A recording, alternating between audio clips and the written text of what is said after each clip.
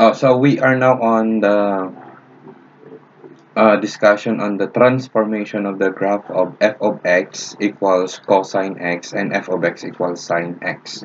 Okay, so there are a few uh, transformations that we need to do dito sa graph ng f of x equals sine x and cosine x. As you can see in the whiteboard, the one uh, graph in red color is the graph of f of x equals sine x and the one in blue is the cosine function.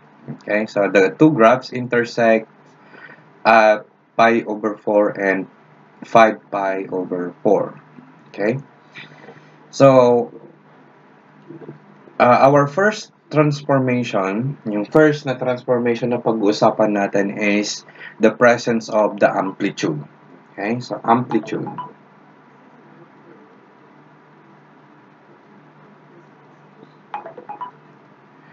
the amplitude is uh, defined as okay, the maximum okay, the maximum value ano, of uh, the function. For example, for the regular one, f of x equals sine x and cosine x, the amplitude is 1, okay, because the highest point is 1 and the lowest point is negative 1. Okay, so the amplitude is equal to the absolute value of A if we have the function f of x equals A times sine x or sine, uh, cosine x, whatever. Kung meron tayong constant dito, multiplied to the function, then the amplitude is the absolute value of that constant A. Okay, so ibig sabihin nito mag-iiba yung height ng ating wave, ng ating sine wave or cosine wave, if there is a presence of a constant multiplied to our function.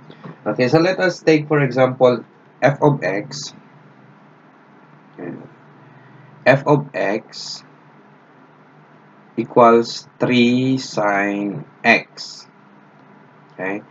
So, 3 is multiplied dito. Therefore, the amplitude okay, the amplitude is equal to 3. This means that the highest point of the function now becomes 3 and the lowest point now becomes negative 3. So, ano ang itsura ng graph ng f of x equals 3 sine x? Parehas pa din from 0 to 2 pi. Ang isang cycle is from 0 to 2 pi. Ang mag-iiba lang is the highest point. So, 0 pa rin dito sa una, 0.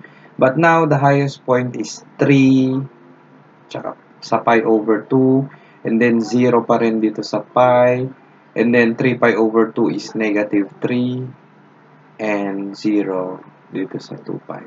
So if we connect the points,